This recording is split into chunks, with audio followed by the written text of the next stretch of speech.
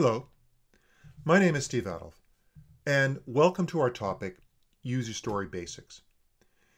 In this first part, we're going to ask the questions, what are user stories, and why should we care?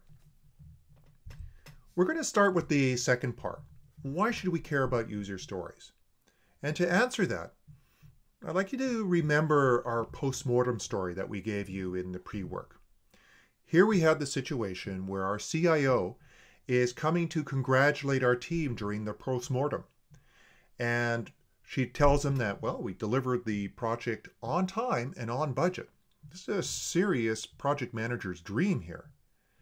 And yet, the team seems very unenthusiastic. And it turns out that while the project was a project management success, people aren't finding the result very valuable. And of course, the team isn't really happy about that because who likes to work and discover what they worked so hard on is not valuable? And this is not a rare occurrence. In fact, if you take the data produced by the Standish Group, it would suggest that only some 15% of the features and systems that we create are actually found valuable and useful by our stakeholders and users. That's that green. On the other hand, some 65% of features and systems are either low value or useless from the point of view of our stakeholders and users.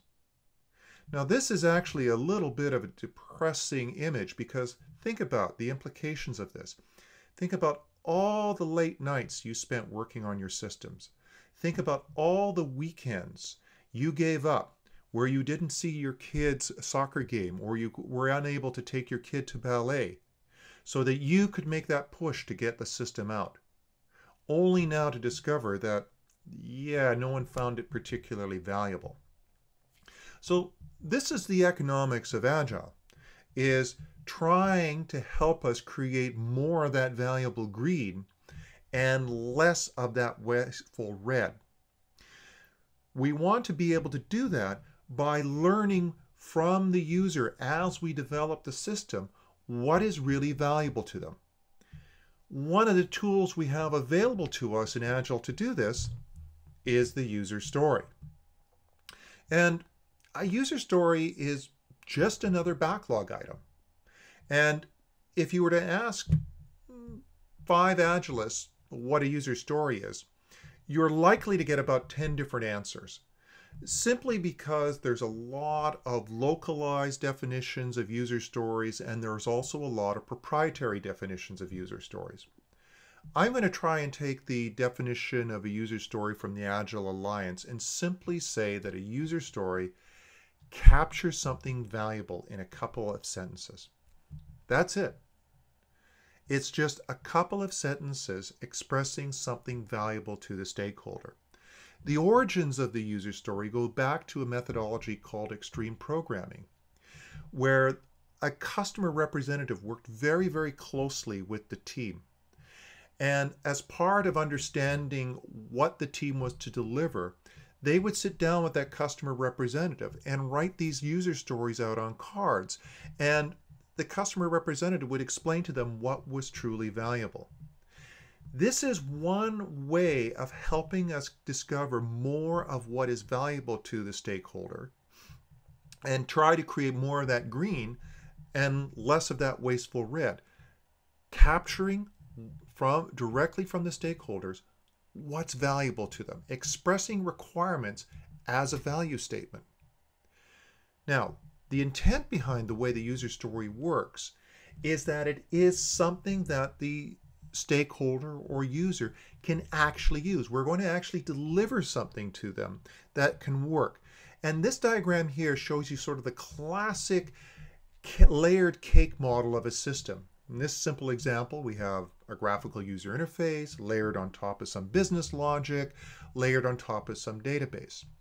And the goal of the user story is to give this very thin slice of behavior, valuable slice that the user can actually operate. It may be a limited functionality, but it helps us learn what is really valuable to that stakeholder. So it helps us by creating these user stories to discover more of what's in that green and avoid less valuable features that would live in that red. Compare this strategy to the typical way that we would develop a system. Here again is our layered cake model, and we would have requirements such as the system shall create a frequent flyer number in the member table. So we would update that, we would create that capability within the database layer. We are, our business logic is able to generate new frequent flyer numbers, and finally, at the GUI level, we're able to present that. But the problem here is until all these pieces are put together, we don't have anything that we can really show to the stakeholder. And this is really where Agile and the use of user stories comes in.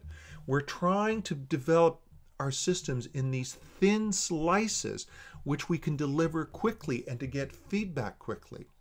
The challenge with this approach is that we're building the system in components, and until all the components are put together, they will not operate and we will not have something that we can demonstrate to this the stakeholder or the user that's truly valuable to them. So what we're really trying to do with the user stories is accelerate the feedback that we're getting by avoiding these so-called CRUD user CRUD stories, the create, read, the update, and delete stories if you like.